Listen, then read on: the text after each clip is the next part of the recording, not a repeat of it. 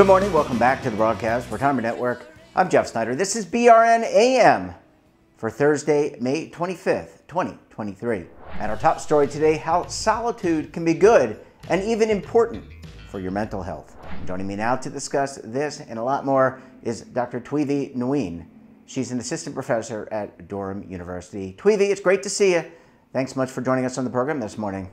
Yeah, thank you for having me. All right. So a lot of people, you know, we lived through the pandemic and mm-hmm. that was considered to be very isolating and mm-hmm. quarantining and keeping people away from each other. But I think you you you talk about isolation and not isolation, but solitude as really something different, something that we actually need to improve our mental health. Yeah, so the pandemic actually um, create a pretty unique experience of solitude, I would say. So that's actually very different from the kind of solitude that I usually study. Because when you think about the time people spend in lockdown, they spend in an extended period of time. Some of them don't even know when they can get out of it. So we tend to think of that as more of an enforced kind of solitude.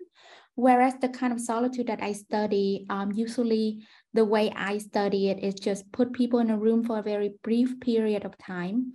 Uh, and we, we tell participants that this is going to be very short. Um, so definitely that we haven't really had people experience that they felt forced into it. Um, there are different degree of how much people like the experience, of course, but with such a short amount of time, the the unique uh, effects that we found was that the people arousal levels or any kind of emotion that people describe as excitement or even anxiety um, so anything we think of as rousing emotion um, they just kind of dropped after people spend like a short amount of time and we're talking about 15 minutes. Um, yeah. Yeah so so solitude is actually a can be a good thing. And and and you know we've had a show earlier on this week about mental health and teenagers and you know teenagers using social media. And i'm sure you've discussed that amongst your peers but very differently solitude can actually help you i guess recharge and, and collect your thoughts. And that's a good thing.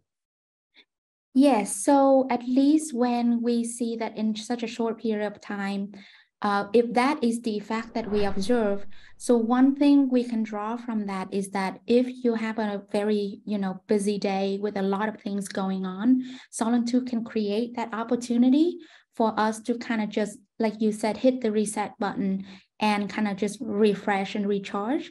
Um, and in fact, there have been studied in the past that show that adolescents, when they go through the day with multiple social interactions uh, back to back, with a brief uh, period of solitude in between that can help improve their mood for the next social interaction. Yeah. I, I'm just trying to think about myself and collecting my thoughts. And, and we all, I mean, you live in it, we live in it, a lot of things coming at us. Sometimes if you take a step back, you can actually be more productive. Uh, and, and I wonder if that's the case with any age range. Is it people in the middle age like myself, older, younger, does does the same approach apply? Solitude can help you collect your thoughts and actually be more productive. So the the part about being more productive is right now it's just a hypothesis. So there has been has not been any work that directly test uh, that. But um, in terms of the relaxation and collecting our thoughts, we have seen that in younger adults. So usually that was done in um, the context of when younger adults go on um, camp, you know, like or experience with camp or retreat, then they describe the experience of time where they're on their own, usually time where they their devices are taken away. Um, then they um, feel the experience as an opportunity. It can be scary for some of them. It can be pretty chaotic because during that time, thoughts can come up. Um, but a lot of them come out of that, that finding the, the experience very rewarding. For adults and older adults, um, older adults actually pretty, um, they have built the capacity for solitude very well uh, compared to any other age groups. So because of that, then the experience might be losing some of that novelty, but still, it can still be a calming and reflective kind of experience. Yeah. Yeah. And uh, well, you know, Tweety, we did a show last week that said that some of the campsites now have access to the internet. So I'm not sure how much that halo, that that dome of silence is going to exist. But you know, in in all seriousness, is there any anxiety? You mentioned having the phones taken away or put away. I'm not sure people are actually forcibly taking them, but because there's no access, you put them away. What about the fear of anxiety when you come back? I know if I've gone on vacation and I come back, I'm thinking about the whole time, I'm thinking about how big my inbox is going to be. What about that level of anxiety? Does that, how does that relate to solitude?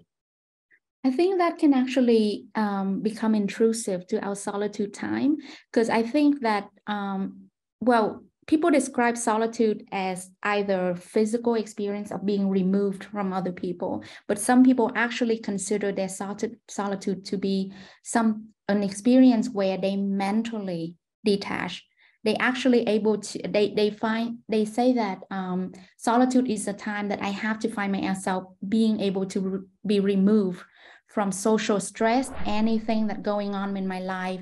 And because of that actually uh, people some people might find that it's the best time for them to be alone is to go into nature where they can remove themselves away from all of the thoughts about you know your inbox filling up and stuff like that. So i do think that if we go into solitude with a lot of the worries and stress that we still carry into solitude you know from our daily life then it might take away some of the benefits that we can gain from solitude um, but of course, it's it's pretty normal. So if people do experience that, I wouldn't say that we sh- we sh- should beat ourselves up over it. It's it's pretty natural. Um, when when we sit alone, thoughts gonna come up, and some of it can be negative thoughts, and um, and that's why you know there's a separate literature on mindfulness and how some people might also choose time and solitude to practice mindfulness and meditation as well.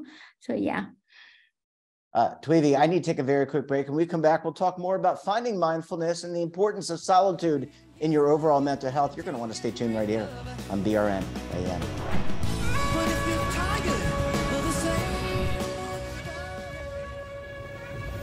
Imagine a new television network that will make you richer, healthier, and in control of your financial future.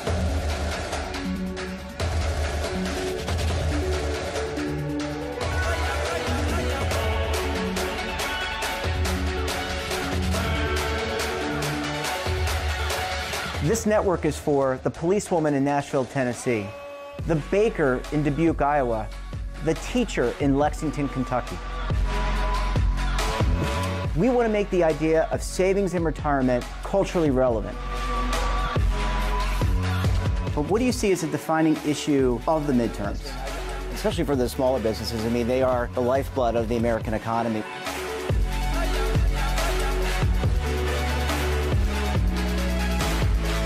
Featuring exclusive interviews, current affairs, and docu-series. 33 yeah. years old, you retired early. The philosophy is money only matters if it helps you live a life that you love. But you got to start thinking about retirement as soon as you get in. The Broadcast Retirement Network will drive very high engagement with premium partnerships. So this isn't retirement and savings for your parents or grandparents. This is for all Americans. And we're going to change the way you think about money.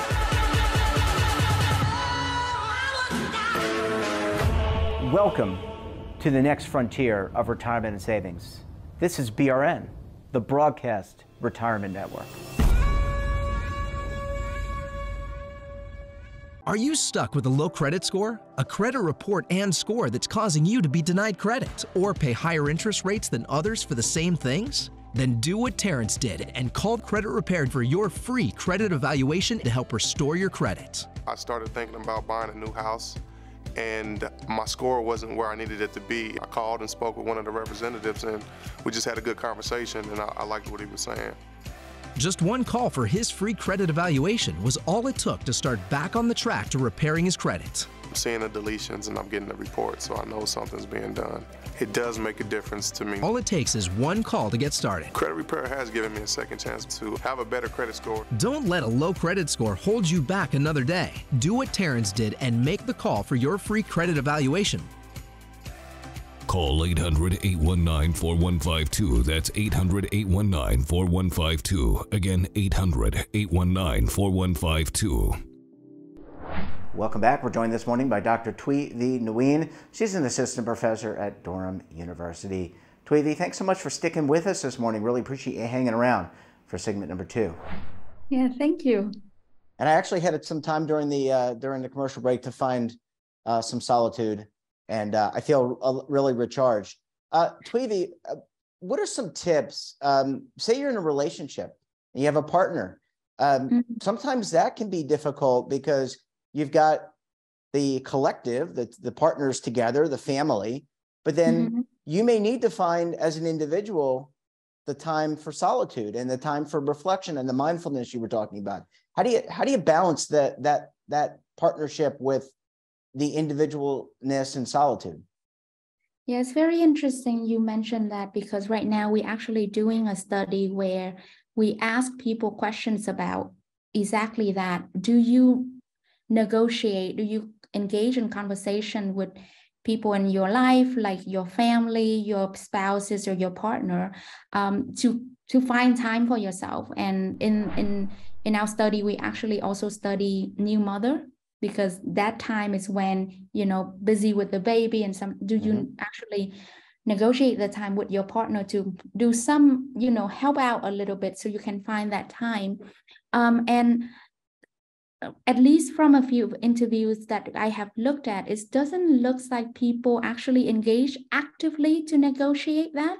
Generally, they kind of just take themselves away um, to find a few minutes. Sometime maybe there might be family members who actively offer the help, offer the time, like, you know, maybe I can take some of the loads away and you can have some time on your own.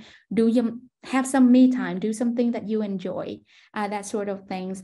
Um, but yeah so i find the balance and the negotiation probably gonna be challenging for some people uh, more than others um, but you know on the other side you find people that live alone that might have to find a balance in the opposite direction. They need to reach out so that they can also have their social life and um, the activities that they engage throughout the day and then resort back to their home space to find time uh, on their own.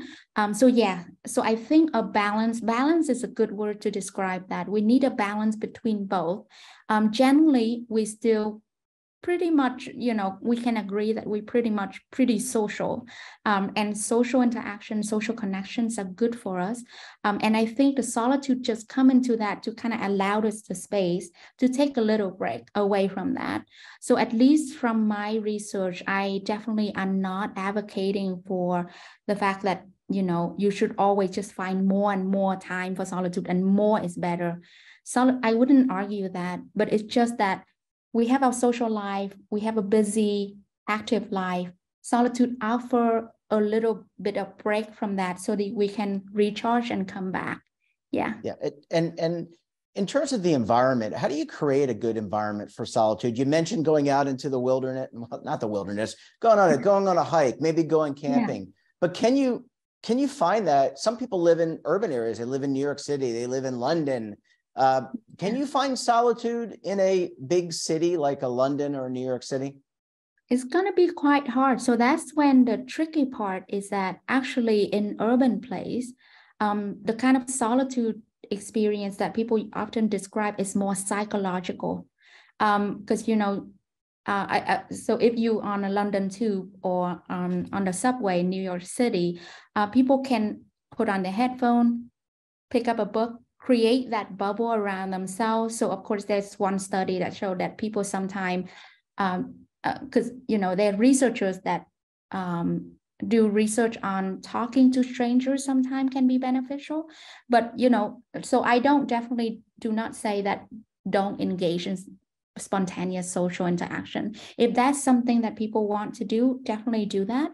But of course, in busy urban life, people do create that bubble so that they can find that space for themselves. Um, but of course, um, one very big element that we find in terms of create environment for solitude is the element of safety.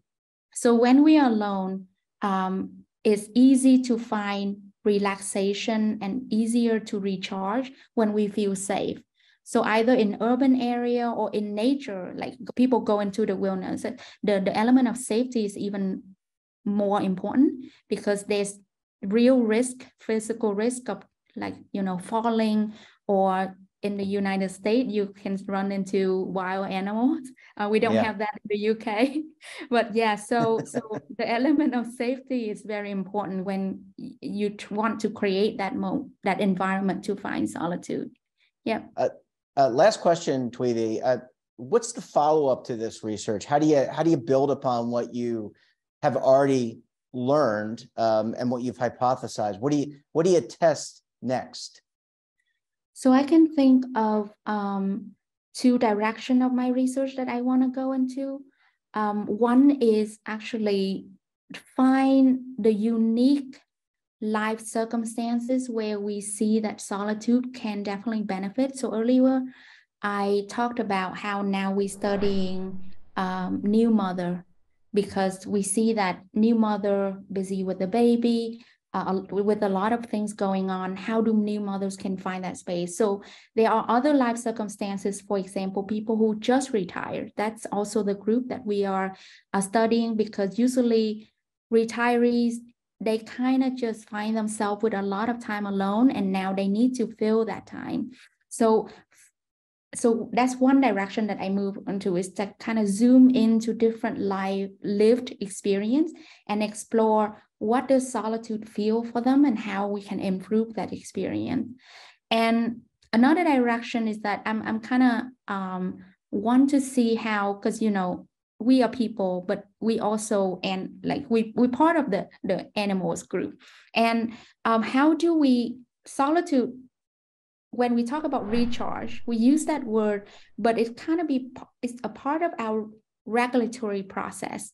So how do we, can we actually um, study some of the biological or physiological markers of stress, of anxiety, um, and whether or not we actually see evidence of solitude also influence those markers because that can have implications for health um, so not just well-being but physical health as well. Because i can imagine how someone you know you can see both sides of someone who has a very busy life and never get the time to recharge.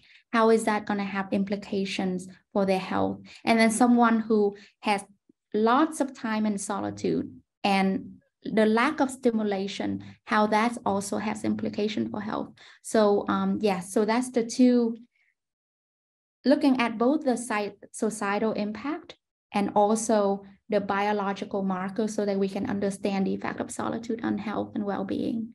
Yeah. Yeah, really, really interesting. And I'm, I'm particularly interested in the, uh, it's all interesting, but I'm very particular when you get the research, we'll talk again about retirement and what that means. Because so many people we're living longer, whether it's in the UK, whether it's in the US, and what that all means. So we're going to leave it there. Tweety, always a pleasure. Great to see you. Thanks so much for sharing your research, and we look forward to having you back on the program again very soon. Yeah, thank you for having me. It's a nice talk. Yeah. And that wraps up this episode of BRNAM. Have a topic of interest, someone you think we should talk to, drop us a line. And don't forget, for all the latest curated news and lifestyle, wellness, finance, tech, so much more, all in one place, check out today's edition of our daily newsletter the Morning Pulse. Want to search our archives, check out our latest content? We'll visit our website and, of course, all of our streaming partners. We're back again tomorrow for another edition of BRNAM. Until then, I'm Jeff Snyder. Stay safe, keep on saving, and don't forget, roll with the changes.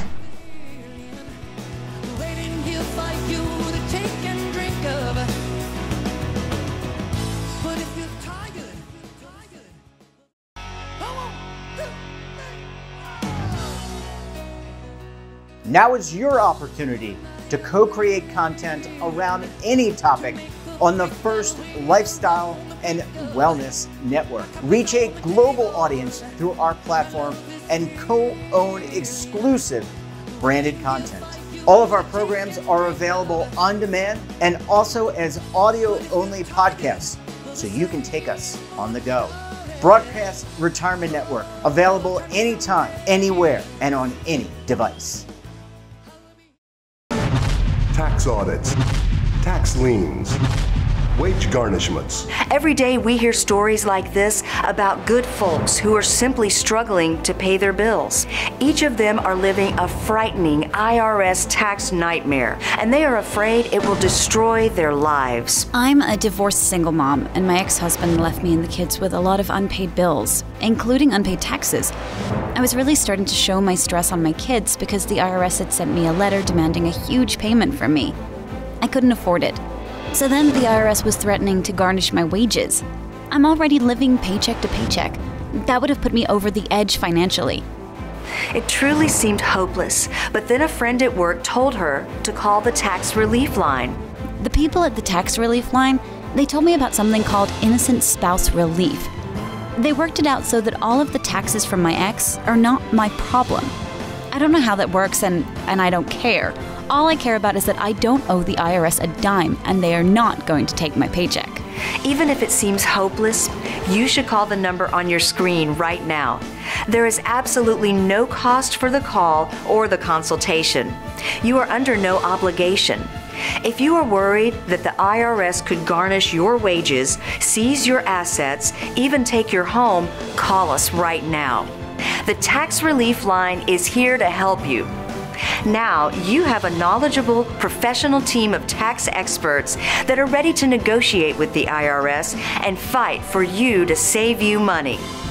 The Tax Relief Line's professionals have successfully negotiated thousands of cases, reducing and sometimes even eliminating the tax debt for their clients. It's very easy to get started. Simply call the number on your screen right now. You don't have to live in fear anymore. The call and the consultation are free.